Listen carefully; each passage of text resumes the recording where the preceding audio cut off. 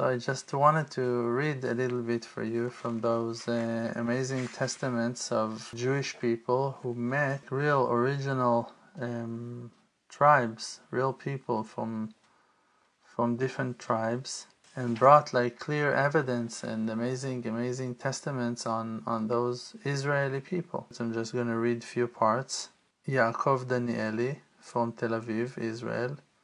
He said he himself met many of the people in Pakistan. He met a, a, a leader of um, and few people from children of tribe that is related to the tribe of Binyamin.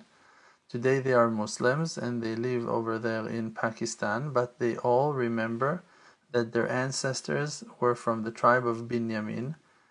They don't remember themselves ever in the land of Israel. They don't have a tradition of remembering it and they're talking about a war a war between the siblings between the brothers that took place in the desert between the tribes of Israel. And because of a horrible crash of the tribe of Benjamin most of them been killed and certain individuals ran away to the desert and they never came back.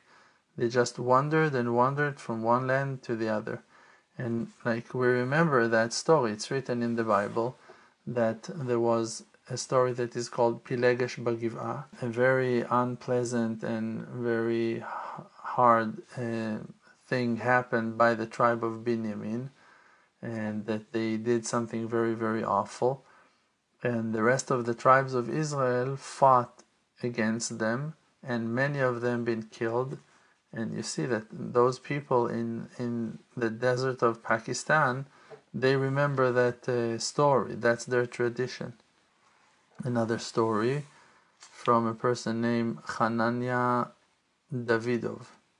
And he said that he was in a group of merchants that were selling and buying um, merchandise in different villages and they were close to the border of Pakistan, that it's a land that is full of mountains, and the and the Indians sellers are taking advantage of the situation over there. They're on they're like coming and like whatever he's talking about um, about his merchant, and then he's saying that one time he was with a group of ten friends came to a place that was full of mountains uh, on the border of Pakistan, and he met the the sheikh, the leader, uh, the religious leader of that village, and they told him that they were Jewish.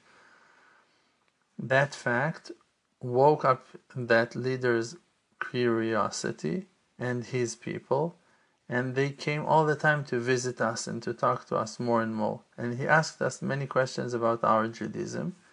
And he said that they are from the tribe of Binyamin, from the children of Israel. And that in the time when the Islam um, was conquered those areas, they had to convert to Islam, that they won't be killed.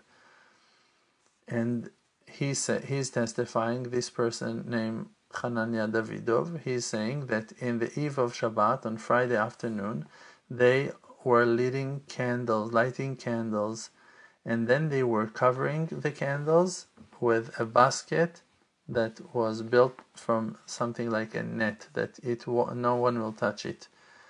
And they were very curious about our religion and uh, how much we are keeping our religion how observant we are and they were just asking us, but we were scared to ask them because Afghanistan is a very radical Muslim um, country. So we forgot to connect with them because we didn't want it to be arrested for that communication. Because for a small thing that you just even like mm, ask some questions or something like that, people can be thrown to prison for many, many years.